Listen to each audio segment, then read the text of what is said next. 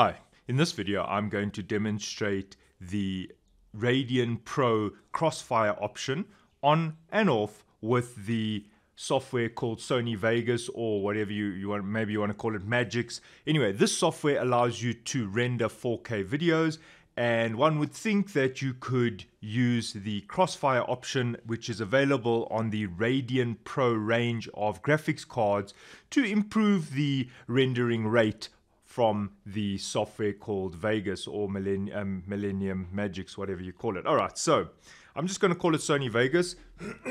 That's what it was traditionally called. And Sony Vegas allows us to render in 4K. Now, here we go. Uh, this is the control panel for the Radeon Pro graphics cards. And as you can see, there the crossfire option is off. So in the first test, I'm going to have it in the off position and I'll just show you that I have two Radeon Pro WX5100 graphics cards enabled on this Threadripper 1920X CPU powered computer.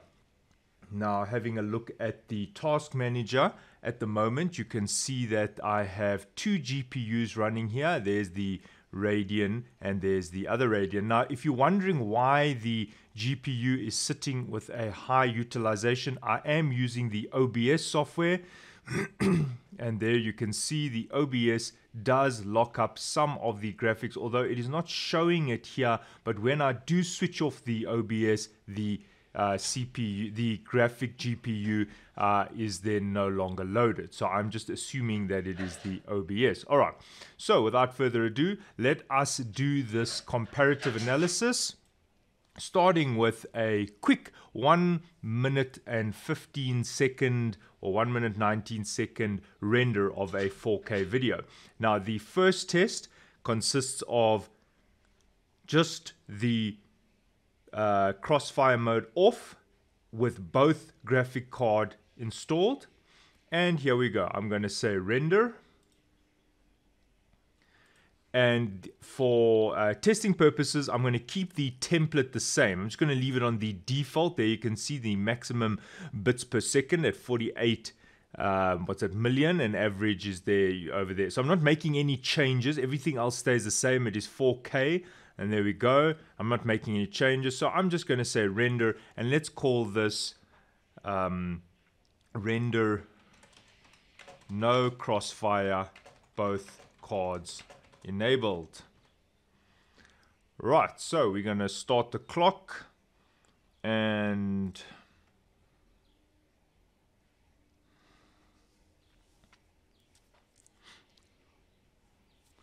And while it's rendering, I'll just uh, demonstrate the CPU loading. You can have a look there at the Vegas software, how it is uh, very hungry. It is uh, using 93 almost 94% of the CPU, but having a look at the GPUs, you will see that the GPU loading on the second card suddenly increased, and that's obviously the the Vegas software using that. Right, you can see there the time is just approaching, there we go, 4 minutes and 3 seconds. Right, now let's do this test with the one graphics card disabled. So let's see if there is any impact if I actually disable one of the cards completely.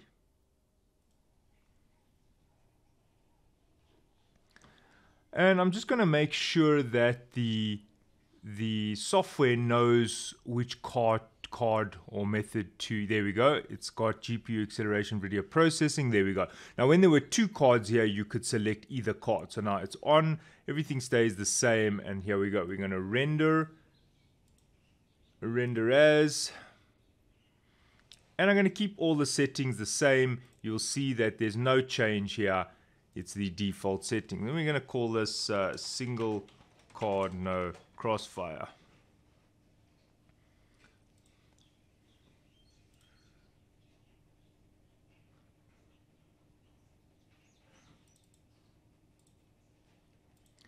Right, there goes the render. And just having a look at the utilization. We can see that we now only have a single card there.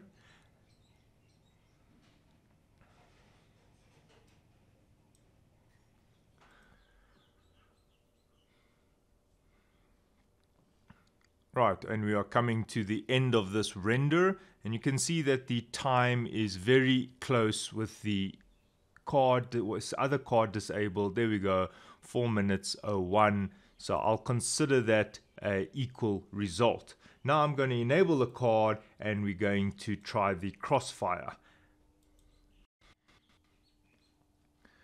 Right, so I am now going to test the crossfire mode. I'd just like to show you that once you initiate the screen recording, there you see the uh, OBS lock uh, takes quite a bit of the GPU capacity away. So if you're wondering what that is, that is the OBS. OBS is the screen recording software I'm using. All right, the GPUs are now in the Crossfire mode. There you can see AMD Crossfire, Crossfire, and what we what we notice with uh, uh, Vegas is that you can select which graphics card. You see now it's picked up two graphics cards, and I'll leave it uh, in the one that it chose and that is immediately telling me that I shouldn't have high expectations because it's not seeing both cards as one. So what I'm going to do is I'm going to leave it on the bottom one for now and see if there is any improvement in the render speed. Then I'm going to try it on the top card and see if there is any improvement on the render rate. And uh, maybe the card will will uh, one card will will initiate the the crossfire, but my my guess is it won't. All right, the render settings are the same. And there we go, the render is off. And just to have a look at the CPU usage, there are the GPUs.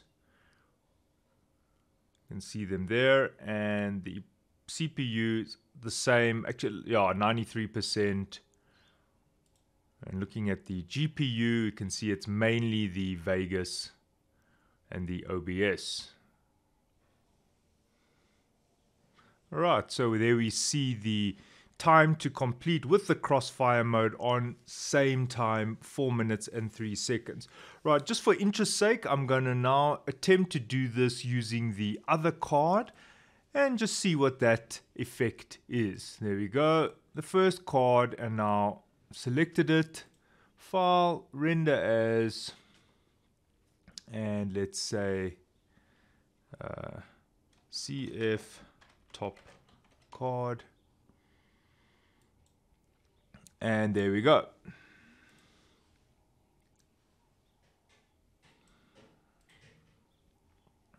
Can see the loading.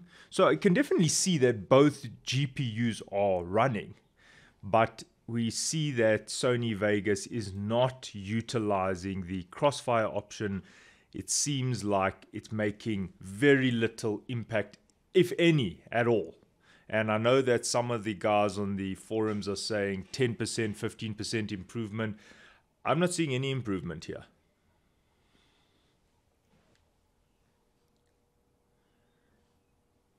And here we see the final stages of the final render. Again, same time, literally a draw. So it didn't really make a difference which card I used, whether it was in Crossfire or not, uh, just to show you some of the settings. Maybe I'm doing something wrong. Maybe if you've got a comment on how you managed to get Sony Vegas to to actually utilize the crossfire option. I haven't been able to do it.